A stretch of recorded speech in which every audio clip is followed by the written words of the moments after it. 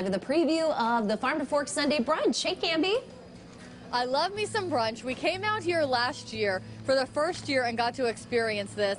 And so many people were disappointed that they did not get their tickets. So I said, you know what, Sidney, we got to make sure we come out early so people can remember that it's happening next Sunday. Now, first, your mom, a very classy lady here, has brought us some brunch hats. Ladies who brunch. Yes, so we need a hat. What are you thinking? I'm What- thinking maybe mm-hmm. red with your necklace. I Okay, don't know. red. And what about for you? How about this this fancy brown one? I like it. Okay, gotta get the hat. Now the hats are not required, and the reason you don't need them is because this is the space. They actually shut down the street, and this is the space where the tables are going to be set up. And you can see the beautiful tree coverage that we have. So even if it gets a little hot, you are still in the shade to be able to eat everything. Now we have our crepes here. You guys had a lot of food last time, and it is all you can eat, all you can drink. So well worth the money. What are we gonna have out here? So this year we're gonna have a crepe station, huevos rancheros. We'll have oysters, both barbecued and raw.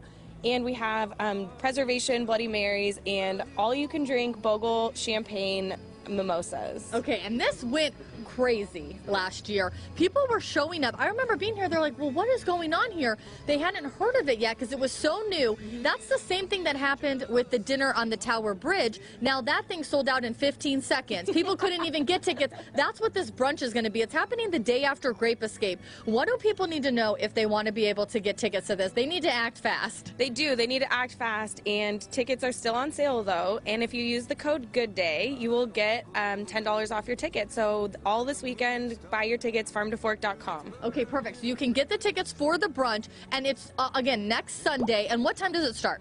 It starts at 10. It goes till 1 p.m. So come early and stay all day, and it's going to be beautiful. And like you said, it's all you can eat, all you can drink. So it's pretty, pretty amazing. You need to make sure that you come with a good appetite as well. You got to take advantage of that all you can eat, all you can drink. And this year, too, if you're not going to take advantage of the pre sale and use that coupon code, which I don't know why you wouldn't, but they will sell tickets at the door if you have them, right? Because it Yeah. could sell out. Oh yeah, we're definitely thinking it's going to sell out. We'll have about 400 to 500 people out here. It's going to be really beautiful, and we set it kind of like the Tower Bridge, two long tables and ladies who brunch. So just come out, eat. It's going to be great. And Sidney might have some hats from her mom.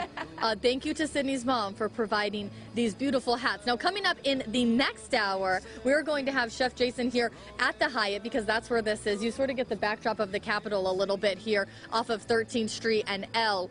And uh, the Chef Jason is going to be bringing out some of the uh, other foods that you'll be able to sample besides the crepes. So we got to get these. We got to get eating these, girl. I want to eat them. I know, me too. Oops. Ladies, Thanks, Cambi. Looks like a fun sauce. time. All right, thanks, Cambi. This morning, dozens of volunteers are preparing for